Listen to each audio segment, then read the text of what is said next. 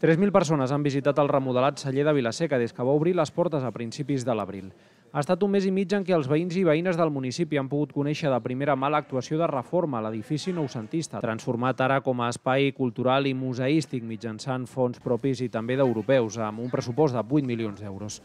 El programa d'Atac 12 Saló de Plens també va endinsar-se pels racons d'un celler que conserva l'essència del segle passat, construït al 1920, ofereix ara més de 3.000 metres quadrats d'oci i divulgació d'una de les catedrals del vi del Camp de Tarragona.